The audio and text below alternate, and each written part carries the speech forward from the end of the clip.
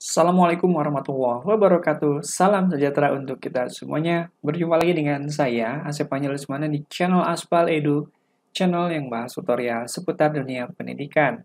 Pada kesempatan kali ini, saya akan berbagi bagaimana caranya ketika kita ingin membebaskan sebuah teks untuk bergerak ke mana pun di dalam Microsoft Word. Ingin tahu caranya? Langsung saja kita praktekkan.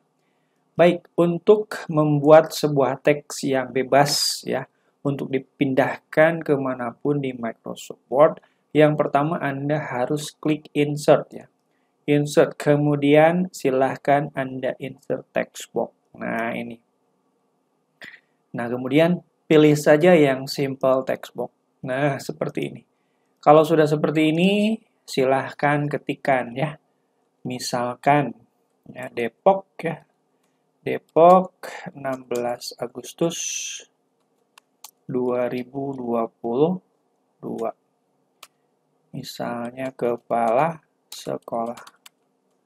Kemudian di bawahnya nama kepala sekolahnya misalkan Asep Panji. Plus mana? SS nah kemudian NIP-nya 19 nah ini saja ya nipnya.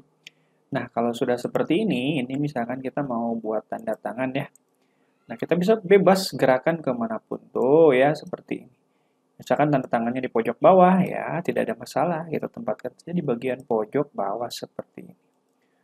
Tuh ya, jadi bebas bergerak. Kalau lalu kalau ada pertanyaan, ini kan ada kotaknya, sedangkan kita ingin tidak ada kotaknya gampang. Ya, kalau mau tidak ada kotaknya di blok saja semuanya ya, kemudian di bagian format ini, di bagian outline-nya ini, shape outline-nya ini kita no outline. Nah, seperti ini. Jadi kosong.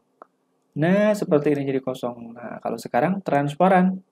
Tuh ya, bisa digerakkan ke mana pun ya, tanpa harus kita khawatir ada bordernya atau ada kotaknya.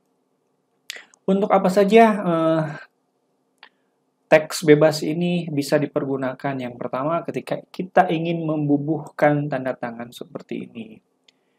Yang kedua mungkin ketika Anda ingin membubuhkan judul ya, judul. Judul teks ya, contoh judul teks misalkan program pengembangan diri. Nah, seperti ini ya. Memang judul tidak bisa tanpa harus uh, membuatnya free bisa digerakkan seperti ini. Betul, bisa saja kita membuatnya uh, di bagian bawah ya. Tidak harus bisa digerakkan ke mana pun. Tapi judul yang bisa digerakkan ke mana pun seperti ini sangat cocok ketika kita ingin membubuhkan judul di mana uh, artikelnya itu sudah penuh gitu ya. Paragrafnya itu sudah berawal dari sini nih seperti ini. Kan kita kalau misalkan sudah penuh seperti ini mau membubuhkan judul itu di atasnya sudah tidak ada space lagi. Nah, kalau seperti ini, ibarat kata tinggal tempel, maka jadilah judul. Ya. Sedangkan yang ketiga dan selanjutnya itu tergantung improvisasi Anda sendiri ya.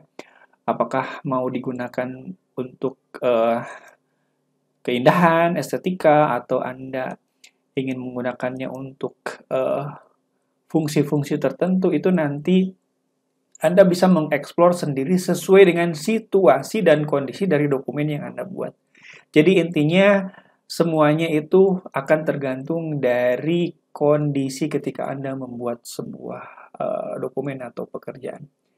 Baik, itu mungkin tips singkat dari saya. Memang tips ini remeh, tetapi saya yakin tips yang remeh ini akan banyak sekali membantu Anda yang baru mengenal Microsoft Word. Itu saja yang bisa saya bagikan pada kesempatan kali ini. Mudah-mudahan ada manfaatnya.